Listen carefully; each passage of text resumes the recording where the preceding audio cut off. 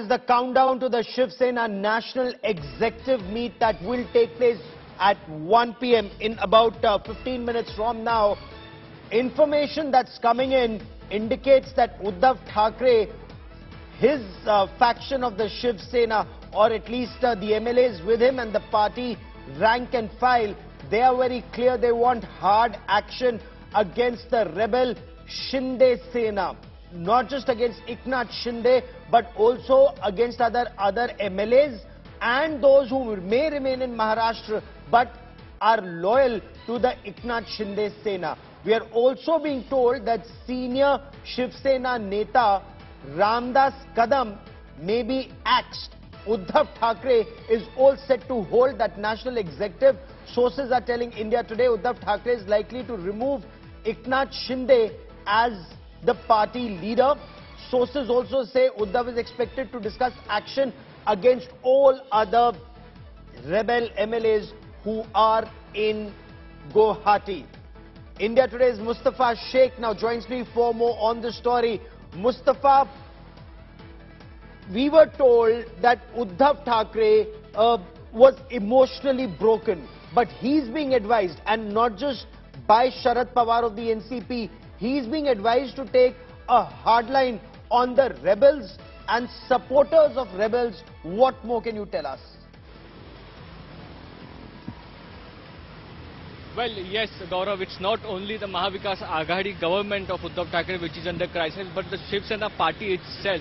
It's almost bro broken apart and hence Uddhav Thackeray has to, you know, activate the Shiv Sainiks at ward levels and also save his government. So it, he is in a action mode if you can see since yesterday Uddhav Thackeray has held many public meetings. Yesterday twice he and Aditya Thackeray had addressed uh, Shiv Sena Cadre and now the national executive meeting in which some harsh decisions are expected to be taken against those Shiv Sainiks, for example, who are in the working committee and whose dear and near ones have left for Guwahati. For example, Ramdas Kadam, is in the working committee, his son, Shiv Sena MLA Yogesh Kadam is in Guwahati with the Eknath Shinde camp. He is likely to be expelled from the working committee. So many such decisions are to be taken. There are, we are hearing sabhas which Aditya Thackeray is going to address in Mumbai at various parts and also uh, the ransacking of offices and homes of MLAs who have left, be it in Mumbai, be it in Pune.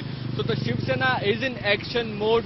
They don't know what will happen next, whether the MLAs, if disqualified, will move to court, whether the deputy speaker will be called in for a no trust vote and there will be no speaker in the Maharashtra. So these are things on uh, Uddhav Thackeray which he is facing as a challenge and is trying to tackle it one by one. We'll have to wait and see what the Eknath Shinde camp does. That will be very crucial. We are hearing they are going to address a press conference, whether they come back to Mumbai, whether they stake claim to form the government or say that the government is minority. Everything is now restive on that Eknath Shinde camp. Back to you. All right, but is Ramdas Kadam actually being punished for his son Yogesh Kadam's actions because Yogesh Kadam is one of the rebels, whether it's the number is 38 or 39, there's no clarity just as yet. Uh, is, is Ramdas Kadam being punished for his son's actions? Well, Ramdas Kadam has been sidelined the Shiv Sena long ago. There was some controversy which had erupted and his phone call was recorded by one of the MNS workers in which he was happy because Anil Parab, who is close aide of Uddhav Thackeray, action was taken against Anil Parab bungalow in Dapoli in the area of Maharashtra. So uh, there was some uh, allegation against him that he was trying to, you know, after being sidelined after 2019, he was, you know, trying uh, to get back his position and trying to target people who are close to Uddhav Thackeray. That was one thing. His son remained in Shiv Sena, but now as he has gone to Guwahati, then there is more spotlight on Ramdas Kadam, his action and his loyalty towards Shiv Sena. Back to you. Okay, stay with me. I also want to cut across to Vidya uh, joining us uh, from the Shiv Sena Bhavan for more on the stories. Vidya, on what lines is the Shiv Sena now moving forward? Because you've been speaking to a cross-section of leaders right from the top down to the Zilla Pramukhs and the Shakha Pramukhs. What direction is the Shiv Sena moving in now? Well, the direction really remains the same uh, that has been chosen in the last couple of days, which basically means that all those who have rebelled will not be really, uh, you know, uh, persuaded by emotions any further. If they really want to return, they will, or else they will also try the Shiv Sainiks here in Mumbai will also try to see to it that there is a pressure that is built up to make sure that those, those pleadings that we had seen on the first day, that does not happen any further.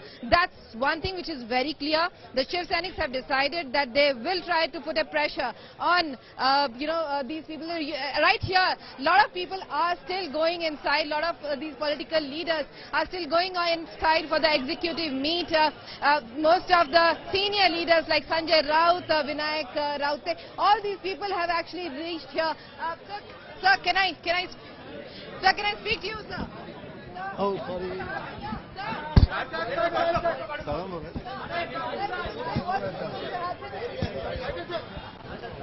Most of the political leaders going inside are actually refusing to speak uh, as to what will be decided. But there one thing that is clear is that whatever Uddhav Thackeray has decided will be the way that will be shown to the people. The executive meet will decide the you know the next couple of days as to what more they can do to pressurize the MLAs to come back.